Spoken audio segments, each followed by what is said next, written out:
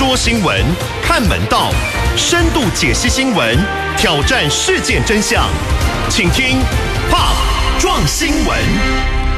听众朋友早，欢迎收听 Pop 撞新闻，我是黄青龙。好，礼拜一啊，恼人的礼拜一啊，又碰到下雨啊，塞车啊，这一路上恐怕大家要有点耐心哈。那么，如果您在路上的话，那么不妨就利用这一段时间呢，听我黄青龙啊，呃，跟我们邀请的来宾啊，今天邀请的是谢金河先生哈，要来跟您天南地北的聊啊，谈一谈最近重要的国国际重要的这个两岸的一些大事哈。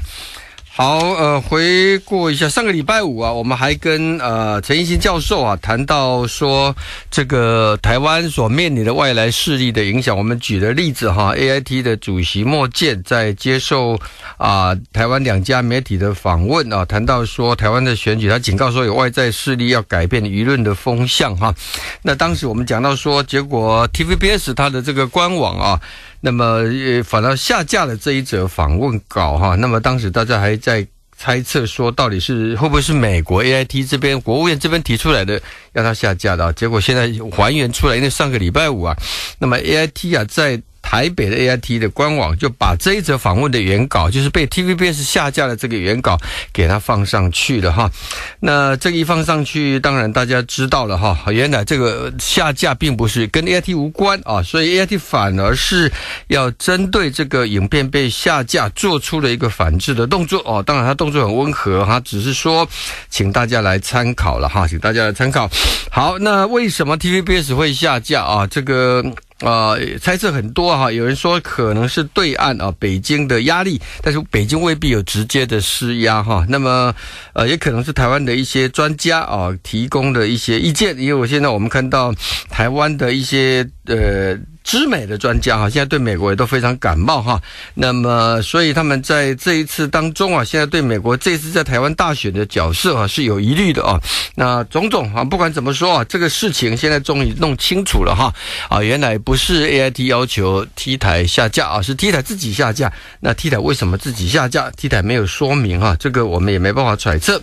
好，那周末呃，这个举行的金马奖哈，本来是高高兴兴的，今年有。非常多的华人演艺圈的大咖都来了哈，结果没想到发生了一个风波，就是呢，得到第十五十五届金马奖最佳纪录片的这个导演傅瑜啊啊，傅瑜女士，她在台上致辞的时候啊，提到说，希望啊，希望我们所爱的国家可以有一天可以被当成一个独立的个体来看待啊。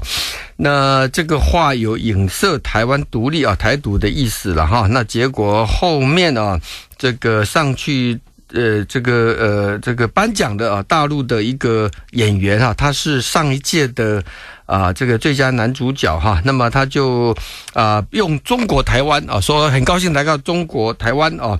呃，中国台北、中国台湾啊，用这样的一个字眼，然后接着 接着啊，最近被啊在大陆啊被盯得很厉害那个范冰冰哈，她就在她的这个微博上哈，用了一句这个呃这个大陆现在很流行的转贴了一个叫“中国一点都不能少啊，一块石头都不能少啊”，这是。呃，大陆的官方啊，在南海问题上啊，表达了一个立场，现在被拿来作为是一种对国家、对党忠诚的一个表征啊。结果他这个微博出现这样的一个发文之后啊，接下来所有来参加这个呃呃参加这个这一次的金马奖的所有大陆的艺人，邓超、孙俪、胡歌、周迅啊、徐峥等等啊，全部都把这个贴上去了哈。好，那这形成另外一个空中的啊，这个两岸的交锋啊，那这有人很担心啊，这样下去的话，明年的金马奖恐怕大陆没有人敢来了哈。好，这个我们也没办法预测，但这个担心也不是完全没有道理啊。结果，呃，昨天晚上啊，这个后来当天礼拜六的晚上，有个金马奖的这个酒会啊，那么因为这个颁奖典礼啊，出了这么多的风波，礼拜天的金马奖的酒会啊，金马奖酒会，结果大陆的这些。演员、演职员、导演全部都缺席了哈，全部都缺席了。庆功会上呢，只有一位大陆导演现身，叫娄烨啊，娄烨，他是他的著名就是那个风中有朵云做的，有朵雨做的云哈。那娄烨担任导演 超过二十年了，那么过去就专门挑战中国的审查制度啊。一九九九年，他的作品《苏州河》没有通过审查，就去参加鹿特丹影展，后来被罚两年，不准拍电影。零六年的《颐和园》同样没有经过审查，直接。既做到到以坎城去影展，也是被罚了五年，不准拍电影哈。好，那基本上他就是一个比较我们讲的在体制内，但是是一个不同声音的一个导演哈啊。那难怪，因为过去他就被罚惯了哈，所以他就不怕啊，就现身我们的金马酒会啊。好，这是金马奖的一个情况。那另外呢，这个我们十四号除了选举以外，还有公投啊。那么现在大家最关注就是冬奥证明的公投啊。那么如果通过的话，那到底是真的能够把台湾的名称改成？呃，就叫台湾，而不是中华台北呢？还是说我们本来在一九八二年洛桑、一九八一年洛桑协议的那个中华台北也会跟着不见的哈？那么在这个时候，国际奥会的副执行长啊，皮尔米洛啊，十六号致函中华奥会啊，那么再度表示说啊，不会干预台湾的公投程序啊，但是完全尊重言论自由。但是他也强调啊，禁止外力干预体育啊。啊，那么如果违反相关规定，国际奥委会采取停选或者除选这些措施啊。那这个包括终止或撤回对。这个这个国家的国家奥会的一个承认啊，呃，当然我们知道这个奥会的这个协议啊，是现在连我们现在的政府啊，连行政院长赖清德啊，他都已经背书了哈，都是承认都接受了啊。但是现在因为它是一个民间团体所推动的，那么按照公投法哈，那么你是没有办法去拒绝，何况他已经联署成功，而且他这个联署成功应该说。大陆啊，大陆也帮了很大的忙啊，因为他把这个台中的这个东亚青运的主办权啊，用这个理由把它停掉。那么这个坦白说是刺激了啊，这个一些人啊去联署这个。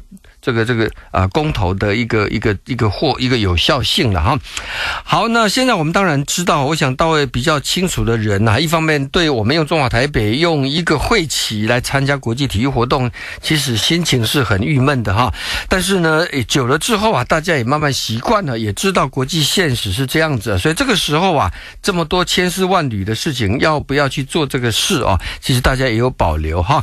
啊，不过已经在呃进正式进入要投。票了哦，所以呢，如果大家也顾虑有担心，因为我其实我认为，呃，国际奥会的这个信，还有这个中华奥会把这个信披露出来啊，那么当然也是要为这个公投游行啊。提供另外一种压力，这个压力就是说最好不要通过啊。那这个通不通过，听众朋友可以自己判断的哈。那么呃，但是我主张其实应该表达哈，所以呢，应该在公投选举，就今年的这个啊选举的时候吧，像这一张选票，如果你赞成或者你反对哈，应该去领这个选票，去把它做一个投的动作啊。这个我觉得是比较有比较有意义的。好，正在巴布亚纽几内亚举行的这个啊。APEC 的这个领袖会议啊，我们看到啊，张忠谋领袖代表跟啊彭斯美国副总统彭斯哈单独的会晤谈得很热络啊。那么事实上，张忠谋说他跟习近平啊也有非常友善坦白的一个互动啊。那么这个会议今年呢创下了一个例子，这史上首次哈，怎么样呢？就是呃各国。经济体的领袖没有办法在峰会闭幕的时候啊，就公报的内容来达成共识啊。那主要原因当然就是因为美国跟中国大陆现在对贸易的立场截然不同哈。那么美联社 报道说啊，美国希望在公报当中啊，用强烈的字眼反对啊美国啊说的这个中国大陆的不公平的贸易手法啊。那么大陆呢，中国大陆呢希望公报内容啊能够。强调啊，这个反对啊，大陆所称的美国的保护主义跟单边主义啊，那这个就难了哈。房间里头两个巨人，那怎么办呢？但这里头居然有个插曲啊，什么插曲呢？这个说大陆的官员哈，那么竟然这个擅闯啊，要闯入啊地主国巴纽的这个外交部长巴托的办公室啊，主要是什么？要去改那个公报的内容啊，企图去影响公报的内容。结果这个部长拒见啊，结果。还请警方到场作证啊。那么这个原因就是说，因为大陆太想要把这个大陆的想法放进到公报内容里头去，那最后在会诊了哈，当然是就是主办国哈。那么这个巴纽的外长，结果呢，这个美国广播公司跟法网哈都报道啊，大陆他们代表想要跟巴巴托开会啊，这个外长巴托要讨讨论啊有关 APEC 公报草案的用字啊，但每一次都被拒绝。后来啊，四名大陆官员就索性强行的闯入啊这个巴纽的外长巴托的办公室，对他大喊啊，要他给几分钟来谈哈。那巴托请警方到场，后来大陆官员不得不离开啊啊，这个因为。这个巴托为什么不愿意跟大陆代表会面呢？他说啊，他孙委外长独自跟这些中方代表的协商并不恰当哈。那么这个原因大概也是因为大陆认为他们给。巴纽啊，非常多的经济的援助，包括这一次的 APEC 的开会啊，都是大陆提供的援助啊。可能也是因为这样子啊，讲话比较大声一点啊。但是巴纽作为主办方，他还是要顾虑到其他国家的哈。其实这不是大陆官员第一次在区域会议卷入到这样的一个情况哈。今年九月诺鲁举办的太平洋岛国论坛呐，那么当时啊，这个。啊，因为大陆的代表在其他国家还在发言还没结束的时候要插话啊，那么主席就拒绝了哈，结果大陆代表团就集体离席抗议啊。那么诺鲁总统啊后来要求大陆方呃道歉啊，那么这个后来讲的话也不好听了啊，他说他们不是我们的朋友，他们和我们往来只是为了一己之力啊。好，现在中美之间的角力哈，包括一带一路，包括 APEC，包括南太平洋啊，那整个说啊这个面向拉得很高啊，但是其实。我们也绝对不要忘记，还有一个地方叫香港啊。香港现在情势很复杂，因为上个礼拜啊，这个美国国会啊。那么，这个美中经济跟安全审查委员会发表的年度报告啊，那么它是以北京啊蚕食香港的自由、法治逐步倒退为由啊，要求重新审视美国给予香港的独立关税区，还有对港出口军民两用科技的政策啊，这个引起香港政商界一片恐慌啊。那么这样的发展，就是说，当香港越来越变成只是中国的一个城市之后啊，所谓的一国越来越强，两制越来越不见的。之后，香港现在所拥有的啊，这种美国给予他的这样的一个特殊的法令也会取消掉，这个样的一个发展也非常值得我们关注。好，我们休息一下广告之后，我们要请财信传媒的董事长谢金和董事长到节目现场。怕撞新闻，好，欢迎回到节目现场，谢金和董事长已经来到我们节目现场，金河兄早，金河兄早，各位听众大家早安，是呃。呃，金河兄是长期在对经济情势哈，我想你做了很多分析啊，很多人都非常的关注哦。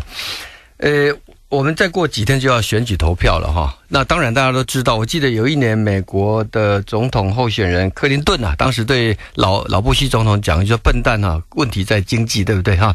就是那一次的选举，大概九零年代的时候啊。那这一次的台湾九合一选举哈，那么现在执政党民进党面临很大的一个困境啊。那也有人认为说，现在经济不好的关系啊，那特别是高雄南部地区的哈，是经济的重灾区。可是我们又看到蔡总统哈，在上任这一段时，他讲过，今年还讲过说，现在是二十年来经济最好的时候啊。好，我想跟你请教，现在的经济到底好不好？当然不是说蔡总统话不重要，但是也许我们可以有另外的佐证了哈。第二个，现在的经济跟选举啊，你觉得你的观察，经济跟选举的影响多大？好，第一个我们回来看台湾经济到底好不好？嗯，如果从数据来讲，嗯，台湾经济非常好啊。嗯，这个就说真的有二十年来最好的，基本上哈，你看到今年的出口，台币从三十三点八八六八哈，一直到二十九点零三五，嗯，台币升值的三年，这个幅度之大哈，是不得了的。嗯，那台币升这么多呢？但是我们可以看到。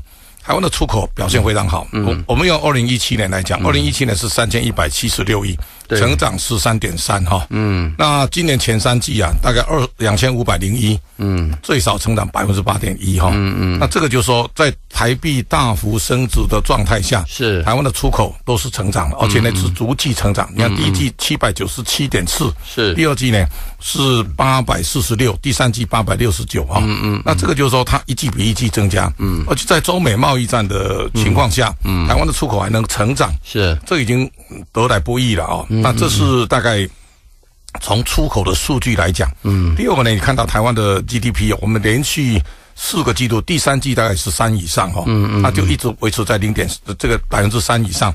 这个情况也是在这么多年当中啊，相对是好的数字哈。嗯，你看到韩国大概都在二点八、二点九啊，嗯嗯，那台湾大概就三点二、三点三。我们比方这个数字来讲，嗯，是比韩国要好。所以你这是总体数字。对。那如果你看上市公司的这个获利啊，是今年一到九月的前三季的税后净利是一点七八兆。嗯，那。二零一七年是二点一九兆，嗯那我们今年到目前为止成长百分之八点六，嗯，这个这个数字是非常好的。你看到台塑、三宝，嗯，这四家公司啊，嗯，前三季赚了两千五百零零九亿哈，嗯，那台那个台积电是两千五百一十一亿，嗯这五家公司大概赚超过五千亿，嗯，所以这个这个获利的数字大概是历史上最好，嗯。哼，那我们去年大概分了一点四五兆的股息，嗯，也是好的哈，嗯哼，我讲的这个是。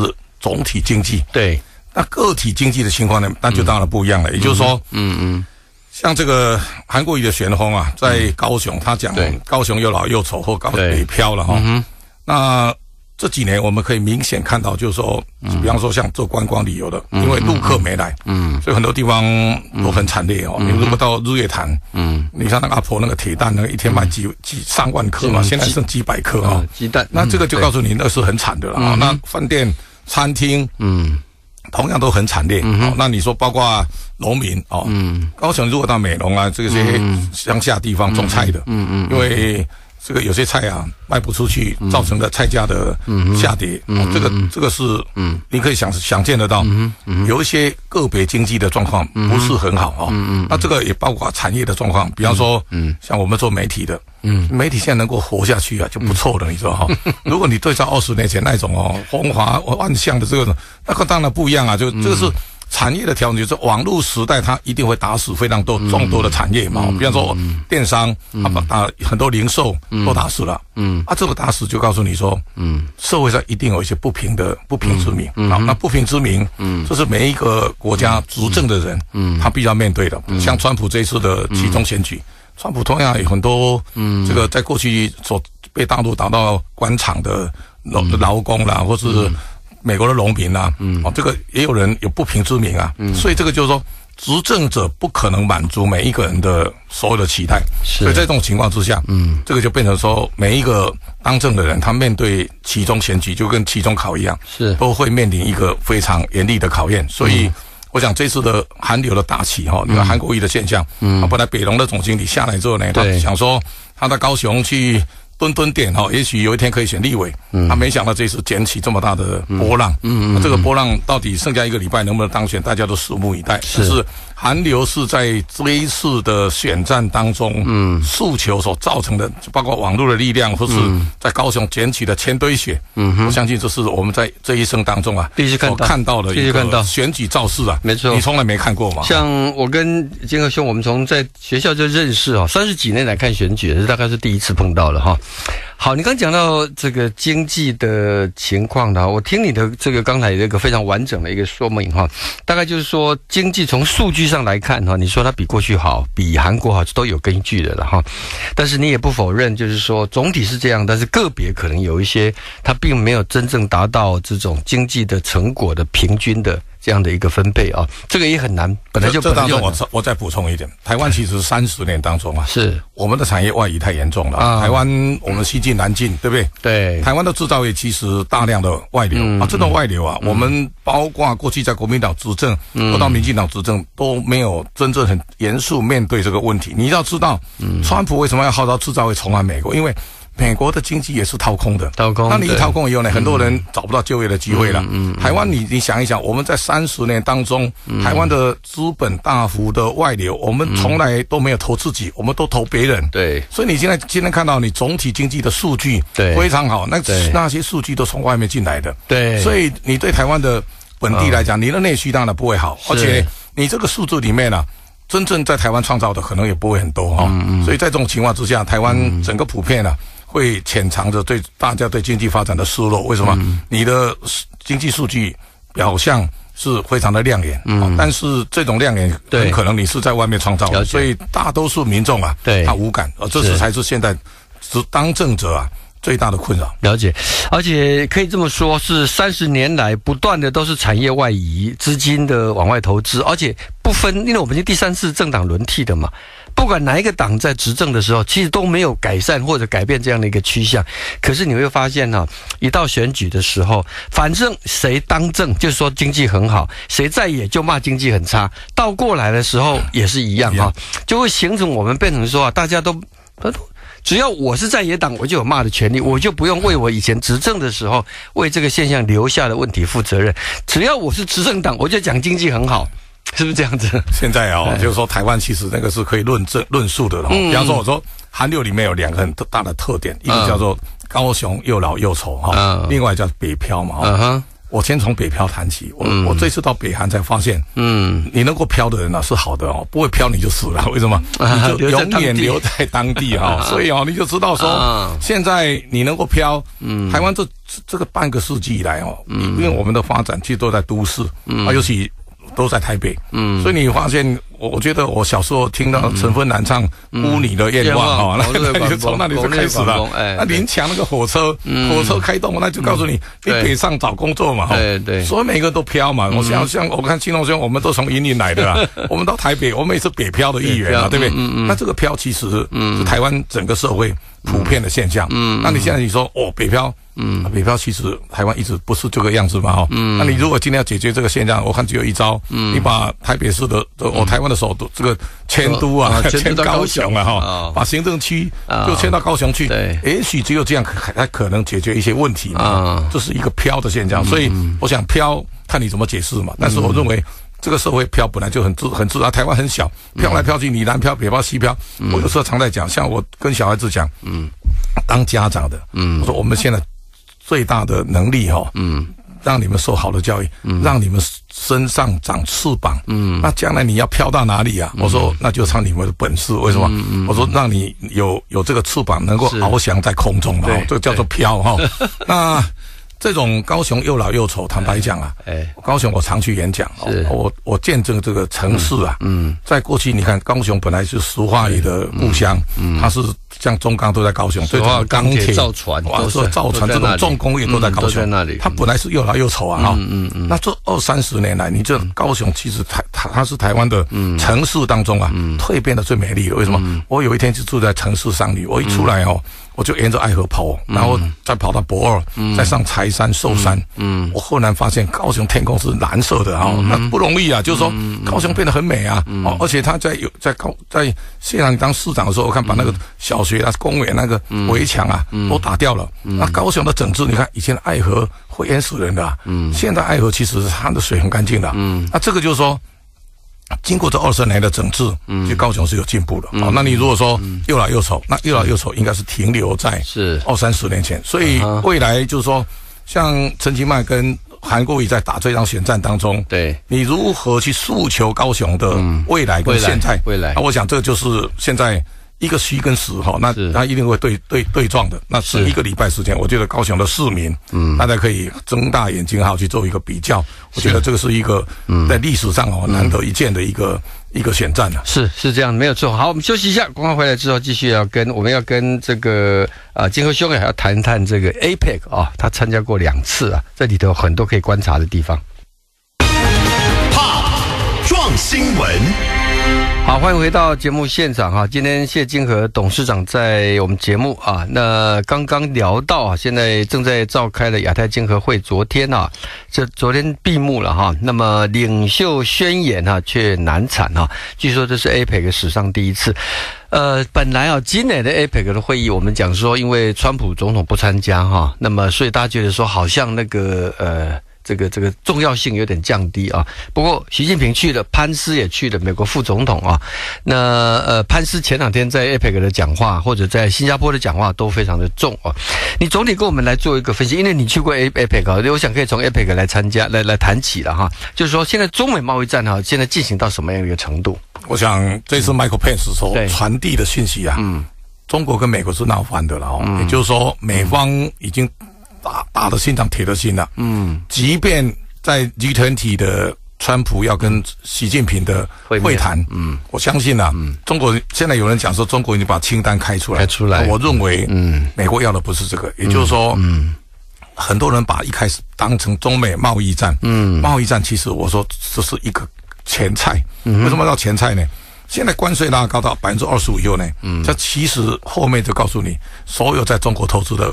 这个工厂，嗯，一定要迁离。为什么？你你的毛利可能只有十帕，嗯，那你如果你的关税是二十五帕，嗯，你根本活不下去。是，所以这个就是说，美国第一步一定要让让让产业离开中国，嗯，这是在贸易战当中啊，嗯，第一个，嗯，那 Michael Pence 其实你一定要追踪从，嗯，他到哈德森的那个对十月四号。的演讲，嗯，那个那个演讲太重要了。为什么？嗯，那个演讲如果你用另外一个角度来讲，那等于是美国对中国宣战了，那那是那是知识体大的是，所以这一次到巴纽的 APEC，你就知道，嗯，我看那个 Michael Pence 这是已经话狠话都讲尽了啊，嗯嗯，所以他跟习大概就只有在那个场边，嗯，短暂大概讲了两一两分钟吧，哈，啊，有人翻译一下哈，那我相信大家一定是没有好脸色哈，那那这个就告诉你说，嗯，在这一场。APEC 大会当中，刚刚你讲的这个三十年，第一次没有最后大家有一个共识声明稿嘛？对对。那这个情况当然就非常严重的，就是说，那个 Michael Pence 这次啊，你看，过去美方。跟台方的代表，不管老宋也好，或是这次张忠谋先生，对，啊，其实他们都非常迂回曲折哈，很婉转，嗯，啊，这次上是公公开开哈，而且这次对我们张董事长来讲啊，做非常好啊，就是说他能够跟喷骗子能够有一个这么正面的会谈，我觉得非常在历史上是很少见的。过去没有，过去没有这么公开，没有这么公开嘛，对不对？所以这个规格当然就不一样嘛，嗯嗯，那那这当中其实。他不断的在传递一个讯息，我想，嗯，我把这一次我我两次跟宋先一次在秘鲁，一直到岘港，那这当中啊，嗯，你可以看到，APEC 是中方的主场哦，你看到，嗯，在秘鲁的时候哦，嗯，你看他们秘鲁总统那个晚宴，我就特别注意的，那在两年前是奥巴马参加，嗯嗯，那川普刚刚当选，那。这个时候，你看他排位置，嗯，那中间的主位啊，那个是习近平的，嗯，而且所有人都等他，嗯，他最后才进场。那奥巴马呢，嗯，排在右边哦，很边边的位置，那快要卸任了，是不是？没有什么人理他嘛，嗯嗯嗯。所以这个在这个较劲当中，美国已经，嗯，已经被边缘化的了。我相信，如果以美国的情况看到这种场景，我看美国一定受不了嘛，他没讲话嘛。嗯那到去年这个岘港哦，在越南岘港，越南呢，你就知道。更情况更严重，为什么？我我我我在我特别对国宴我非常嗯注意啊，就是说这个国宴是八点开始，对，那你看每一个国家的总这个领导人进场，比方说杜特地啦，或是那那个纽西兰刚生小孩那个总啊那个总理，然后那个文在寅啊、安倍啊，他们大概都在八点多以后陆续进场。我特别看，嗯，川普进来是八点四十三分，嗯嗯，所有人都就定了，川普坐在旁，坐在很外外外侧啊，嗯哼。这个习近平来的时候已经九点三十四分了。哦，那这个你看，嗯，八点钟的国宴开始，那习习来的时候呢，陈陈大光总主席他已经过世了，嗯，在场中欢迎他嘛，嗯。哼，啊，他坐定以后呢，他是在场中最重要的主位，而且那一区啊，嗯，没有人可以进去啊，嗯，所以他外那后面那个那个戒备森严，嗯，那个川普是在很外面的啊，他大概他只隔了一个泰国总理跟这个宋先。就隔离劳作嘛，是因为 A B C D 的关系吗？英文英文说，因为我也特别看哦，就是说这样的排法，当然，嗯，主宾嗯。是习，对啊，那其他都是为辅嘛，哈，啊哈，所以那个你你从那个那个那个那个做做事的安排，嗯嗯，还有你出场的时间，嗯。啊，最后的压轴，嗯，那都是中方嘛，嗯嗯，所以我经过这两次，我就觉得这个美方啊，嗯。你怎么可能会容忍呢？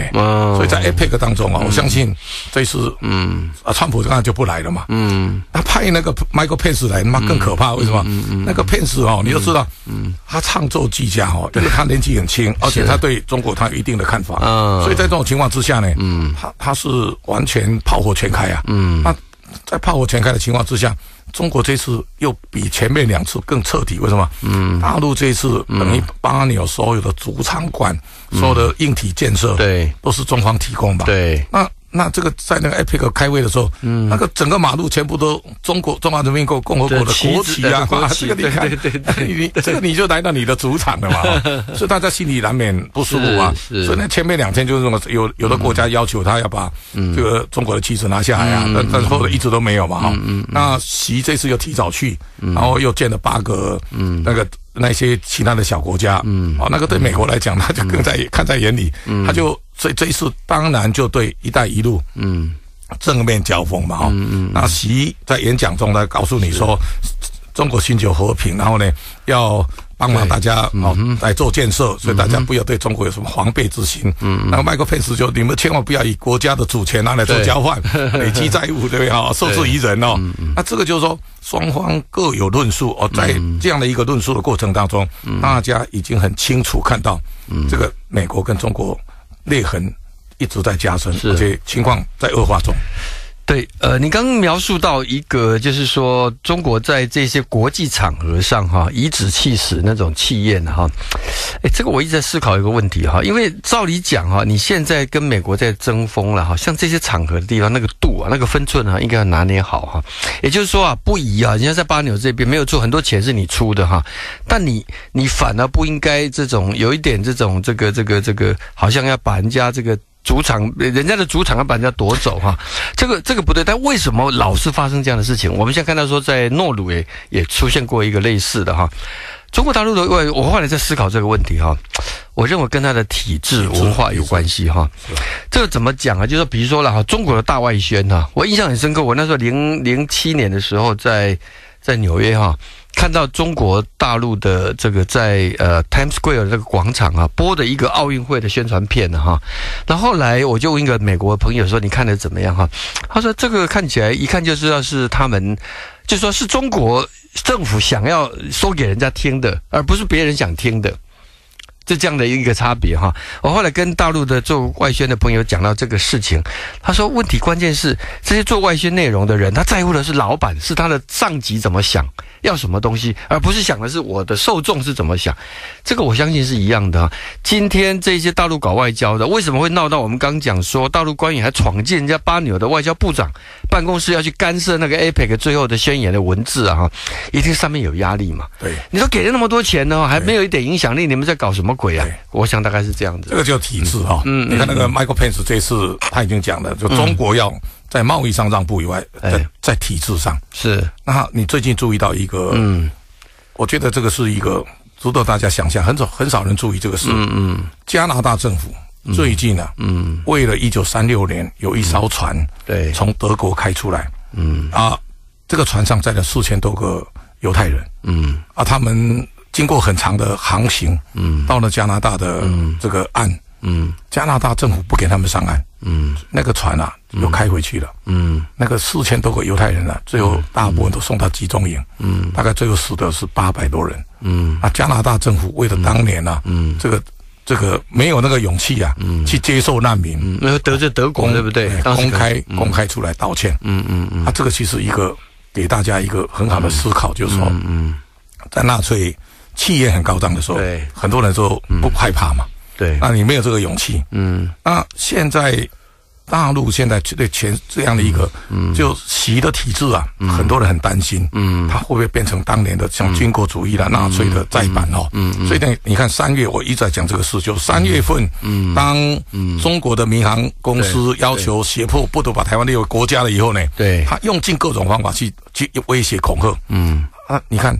美国的白宫发言人桑德斯之兄，维尼尔诺森时候，嗯，对，那个其实告诉你是很大的美国在骂你的哦，嗯，啊，这个骂是骂的很重的，嗯，而且不是只有贸易赤字的，大陆没有听懂嘛，所以他认为说美国愚蠢哦，那那这个美国在胡说八道，嗯，那这个就是说鸡同鸭讲已经到一个很可怕的地步了，嗯，美国今天在乎的就是如果中国今天是一个在经济成长发展以后，它变成一个。一个民主的国家，嗯，那跟世界共同共产，大家不会有恐惧嘛？是。但是今天如果走到这一步路的时候，当你变成一个动物庄园在体现的时候呢？嗯，啊，对未来人类的发展，嗯，它影响太大了。嗯，所以将来在整个现在，我看这个礼拜黎智英在苹果写的文章啊，嗯，他就在写欧维欧威尔的动物庄园啊。那现在他就说。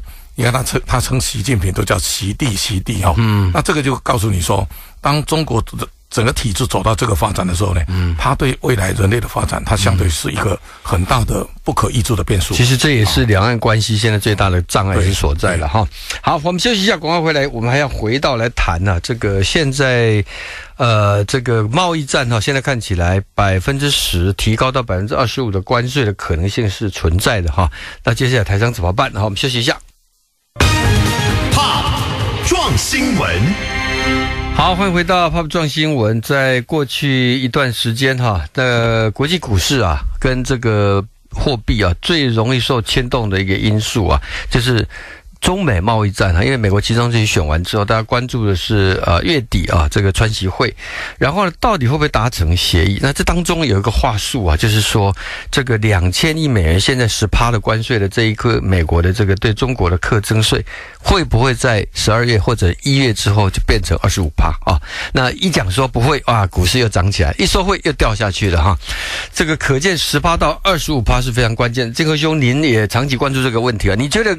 从十八调到二十五趴的可能性到有多大？现在大家都在等那个 G20 的这个川普跟习近平的会面会面哈。嗯，那我想现在如果看目前这个气氛，嗯，好像川普说中国已经答应我们的条件了哦，嗯，好像又成了哦，嗯，那这个是川普一贯的惯用的伎俩啊。对，他一开始都是好像我说习近习近平是我的好朋友啊，嗯，他就经常把客套话讲在前头啊。对，那回头之后呢，那个拳头又打出来了。嗯哼，所以我想这个还不能够太早下。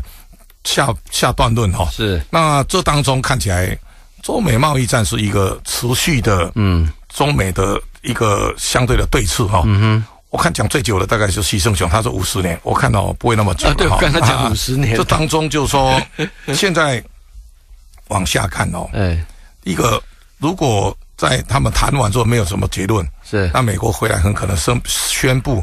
把剩下的两千六百七十亿美金全部都放进去了，压上去。嗯，啊，这个压上去对未来的世界影响就会很大哈。你要知道，嗯，现在还没有完全全部都加关税。如果全部加了以后呢，嗯，啊，对二零一九年呢，那是影响会非常大。嗯，所以现在其实全世界的资本市场，嗯，大家已经都在预演二零一九年全世界经济的衰退的这样的一个路径哈。你看到。